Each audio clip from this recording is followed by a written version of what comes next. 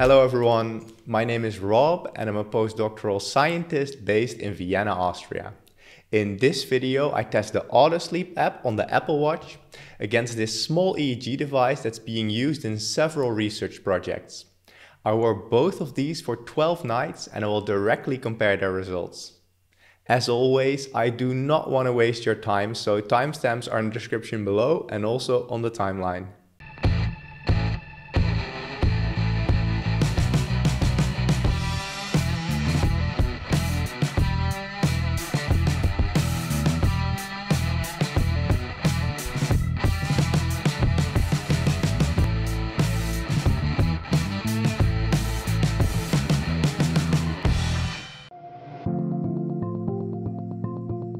For those of you who are not familiar with the app called AutoSleep, it's used in combination with the Apple Watch to track your sleep. Among other things, the app tracks the sleep stages you go through each night. However, these are not the classical sleep stages. So the classical sleep stages are REM sleep, light sleep, deep sleep and awake. Whereas the AutoSleep app tracks different sleep stages. It tracks deep sleep, still slash restful sleep, light sleep and awake. So basically, instead of REM sleep, it scores another sleep stage, which it calls still slash restful. And it's positioned between light sleep and deep sleep when it comes to the depth of sleep. Now, let's get to the test. I will compare the results of auto sleep on Apple Watch to the sleep stages as I track them using this small scientific EEG device. At the same time, I also recorded myself using an infrared camera. The EEG device measures brain waves and muscle movements. It's called the Hypnodyne ZMax and is being used by several of my colleagues in scientific studies. If you're interested in using it for a study, I will link it below. Now, I manually went through the recording of each of the EEGs and scored each part of the night for the different sleep stages. Now, using the data from the AutoSleep app was not completely straightforward. I could not export the full graphs of the different sleep stages in a usable format, I ended up manually copying all the sleep stages over time to Excel. In addition to tracking sleep stages, the app automatically detects when you fall asleep and when you wake up. So I'll also test how accurate this was. Also, in general, with the infrared recording, I can see what my movements were like and see if the AutoSleep app correctly predicted those moments I was awake. Before I get to the test results, I do have to mention that the AutoSleep app has some functionalities that I will not look into in detail in this video. First of all, it can track your SpO2 over time and also provide you with a readiness score in the morning that reflects your daily readiness.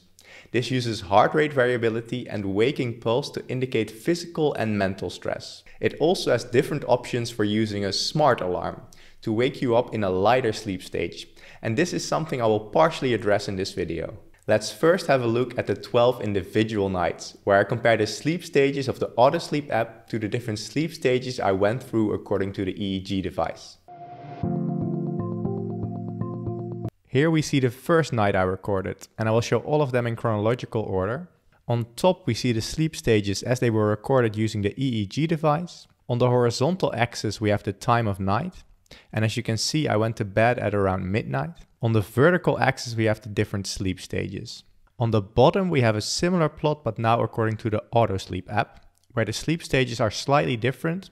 Instead of REM sleep, we have this still slash restful sleep stage. Now, according to AutoSleep, this still slash restful sleep stage is in between light sleep and deep sleep. So that's why I've positioned it in this plot. The sleep stages according to the EEG on top are plotted in the order that they're usually displayed in research. If we first look at deep sleep according to the EEG, which is marked here in purple, we do see that for this night, these parts were indeed marked as deep sleep also by AutoSleep, at least for a large part. However, AutoSleep also recorded a lot more deep sleep later in the night, where I actually did not have deep sleep. Next, if we look at REM sleep here in red, it seems as though REM sleep often overlapped with light sleep. Now to see the sleep cycles, I added the non-REM sleep in blue. Each sleep cycle starts with a combination of deep sleep and light sleep, together called non-REM, and always ends in REM sleep. Non-REM here is marked in blue and REM sleep is marked in red. Just looking at it, there seems to be a slight tendency for more deep sleep in non-REM according to AutoSleep, and a slight tendency for more light sleep in REM. Also, we see that for this night, my awake moments were not detected by AutoSleep though they were marked as light sleep and not as still slash restful sleep or deep sleep. However, let's look at a few more nights to see if the patterns are the same. Here is the next night. And the first thing you will notice is that Autosleep recorded a period of sleep at the beginning of the night where I was not actually asleep. It gave me some light sleep at about 9 pm, where I was actually just sitting still and not even laying in bed. If we look at deep sleep for this night, it seems to be a mixture of several sleep stages, so it's unclear what to say about this. Again, if we look at REM sleep, it seems to have a lot of light sleep in there, similar to what we saw before, which again gives rise to similar sleep stage patterns with most of the deep sleep in non-REM sleep and most of the light sleep in REM sleep. For the next night, deep sleep accuracy is a bit better, though there is again too much deep sleep here at the end. The sleep cycle shows similar patterns to before, though maybe a bit less clear. And again, awake is detected often as light sleep, but also sometimes actually correctly detected as being awake. For the next night, I would say that patterns are mostly the same as what we saw for the other nights, for both deep sleep and for the sleep cycles. However, again, the night after we see a similar problem to what we encountered before, where light sleep is detected at the beginning of the night before I even went to bed. Based on the results so far, I would say that some patterns seem to be developing. First of all, REM sleep is often detected as light sleep by the Autosleep app. Second, Autosleep detects too much deep sleep. Third, not all awake moments are detected, but if they are missed, they are often marked as light sleep. Finally, quite regularly Autosleep detects some sleep before I actually go to bed. However, I will actually do a formal analysis of these patterns to see if this is right. But before I show you those results, I will very quickly show you some highlights for the last few nights, focusing mostly on awake detection. Now this is the next night and we see I had two awake moments and only one of these was detected by Autosleep, though the other one again was marked as light sleep. For this next night, I was actually awake quite a lot at the end, and these were detected by the Autosleep app, since these were probably more pronounced awake moments. Again, for this night, I had two awake moments, and neither of them were detected by the Autosleep app, but again detected as light sleep. And we also see the same problem we saw before, where I detected sleep before I even went to bed. As I mentioned, I also did an overview analysis for all 12 nights combined. Let's have a look at these results. First, let's compare the total percentages of each of the different sleep stages the Autosleep app and the EEG device recorded over all 12 nights. As we also saw when looking at the individual nights, the Autosleep app predicts way too much deep sleep, more than double the actual amount. It predicts about 30% deep sleep, where in reality I only had about 13 to 14% of deep sleep. Based on what we saw before, I would say that it mostly overestimates deep sleep at the end of the night, where you actually tend to have less deep sleep. If we look at light sleep on the other hand, we actually see it predicts too little light sleep. It predicts about 38% light sleep, which should be about 56% light sleep. Finally, awake is quite good and it predicts about the right amount of awake time. Now I should mention that these awake times are slightly inflated due to the misclassified sleep starts we saw for the Autosleep app meaning I show a larger total percentage of awake time than I had in reality. Now let's have a look at which of the sleep stages are being confused by the Autosleep app. And that's what I displayed here. On top we have the sleep stages according to the EEG device and on the left the sleep stages according to Autosleep. Now each column here sums to 100%, meaning that we can see what percentage of each of the actual sleep stages was recorded as each sleep stage by Autosleep. As an example, let's first look at deep sleep. We see that 42.2% of what was actually deep sleep was also predicted as being deep sleep by autosleep. Quite a significant amount was also predicted as being still or light sleep, and very little was predicted as awake, which is good. If we look at light sleep, we see this is all over the place. What was actually light sleep is seen by autosleep as a combination of each of its sleep stages. A total of 34.9% of what was actually light sleep was also predicted as light sleep. If we look at awake, this was actually detected quite well, and most of what is awake was detected as awake, and almost all the rest was detected as light sleep. Finally, similar to what we saw for the individual nights, REM sleep is quite often seen as light sleep by the Autosleep app. A total of 54.4% of REM sleep was actually classified as light sleep. Based on all the results I've seen so far, I'm not very impressed with the sleep stage scoring of the Autosleep app. But before I draw my conclusions, I want to quickly analyze two more things and try to answer two associated questions. First of all, how does the scoring of the Autosleep app compare to the Sleep Cycle app I reviewed last week? And second, even though the exact sleep stages do not match, do the changes between the different nights still have meaning? Let's first compare the patterns of the Autosleep app to those of the Sleep Cycle app. Here I plotted the first example night where I plotted the sleep stages according to Autosleep on top and the sleep patterns according to Sleep Cycle on the bottom. Now Sleep Cycle does not have distinct sleep stages but shows a graph of overall sleep depth over time. For the first night we actually see the same rough patterns overall, where when Autosleep has deeper sleep, so does Sleep Cycle. Generally for the other nights we mostly see the same pattern, like for the second night here, the third night, the fourth night and so on. However, overall, I find the sleep patterns of the Sleep Cycle app to be less fragmented, showing more smooth transitions, therefore making them more easy to interpret. If you're interested in the Sleep Cycle app, I did a video on this last week, which I will link above. Now, to finish off the analysis, let's see if the changes in the percentages of the different sleep stages between the nights show some predictive value. What do I mean by that? Well, if we compare the percentages of the sleep stages between the Autosleep app and the EEG device over all nights, do we see any correlations? I should mention that I just have 12 nights of data, so any conclusions drawn from this should be taken with a huge grain of salt. It's still interesting to check nonetheless. Here I display those correlations with the sleep stages according to the EEG device on top and the sleep stages according to Autosleep on the left.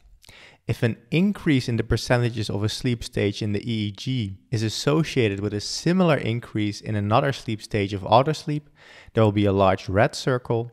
If they correlate negatively, or in other words, the increase in one leads to a decrease in the other, the circle is large in blue. Overall, we can see that more deep sleep according to the EEG leads to an overall larger percentage of still slash restful sleep according to the Autosleep app. On the other hand, a larger percentage of REM sleep and awake time leads to a larger percentage of awake time according to the Autosleep app. Now, what does it look like when we visualize those examples? That's what I've plotted here. Here you can see the percentage of still and restful sleep according to the Autosleep app on the horizontal axis and the percentage of deep sleep according to the EEG device on the vertical axis. Each dot here is a single night. Overall, we see a general positive correlation. Though as I said, this is just based on 12 nights, so I have to be very careful with drawing any conclusions. Next, if we compare the awake times between the EEG device and the Autosleep app, we also see a general positive correlation. Now I should note that here I removed those false periods of sleep time that the Autosleep detected at the beginning of my night, as to not inflate the percentage of awake time. Overall, the only strong correct correlation we see is between total percentage of awake time, However, deep sleep and light sleep do not show these correlations. So these results don't positively influence my opinion of the Autosleep app.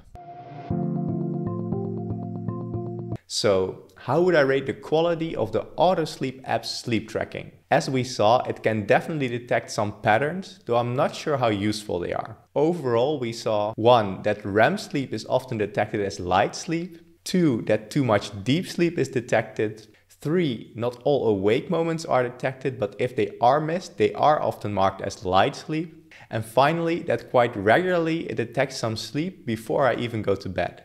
If I compare the Autosleep app to the Sleep Cycle app I looked at last week, I definitely prefer the results of the Sleep Cycle app. I feel the information provided is easier to interpret and less fragmented.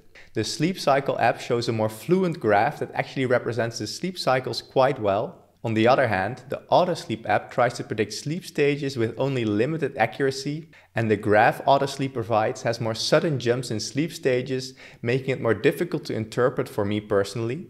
So for getting a feeling about my sleep patterns during the night, I definitely prefer the Sleep Cycle app over the Autosleep app.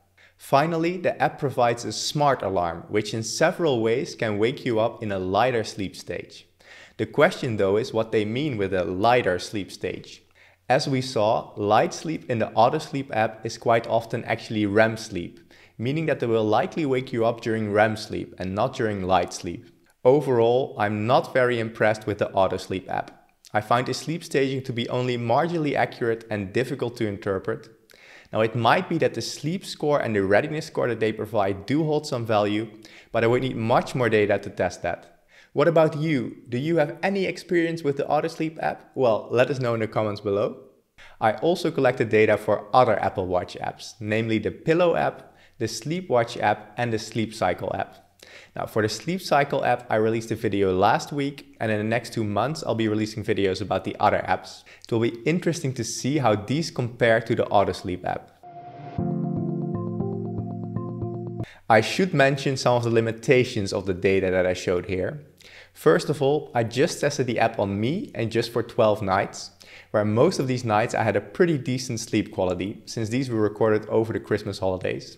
It will be interesting to see how the app responds to different people and also with poorer sleep quality.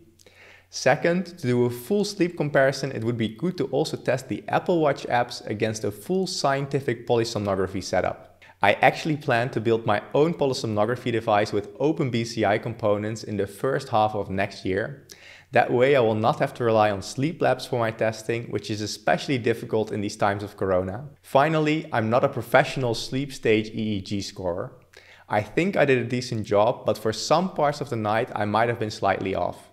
In my videos, I do scientific tests on different devices like the Oura Ring, the Fitbit and the ScanWatch. And in the end, I hope to use tracking to improve my life. So if you like that subject and like this video, consider subscribing to my channel and also consider giving it a thumbs up because it makes it easier for other people to find my videos. Thank you so much for watching and see you in the next video.